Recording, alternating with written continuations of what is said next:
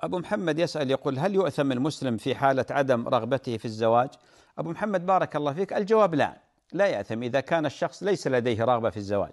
ولذلك العلماء من في في مسائل النكاح يجرون عليه الأحكام التكليفية الخمسة.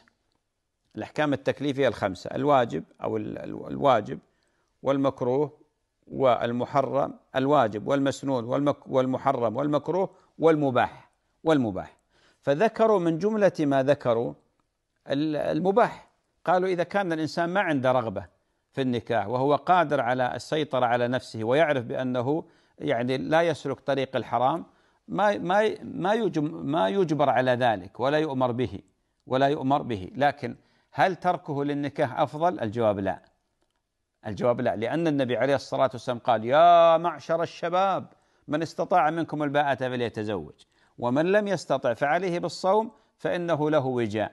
وأيضا النبي عليه الصلاة والسلام قال تزوجوا الولود الودود فإني مكاثر بكم الأنبياء يوم القيامة.